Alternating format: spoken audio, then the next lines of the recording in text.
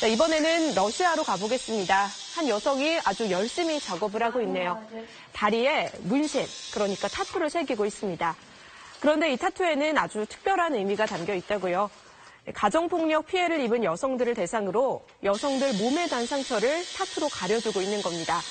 주로 꽃과 나비를 새겨준다는데 러시아에서는 해마다 약 14,000여 명의 여성이 가정폭력으로 숨질 정도로 가정폭력이 아주 심각한 사회 문제입니다.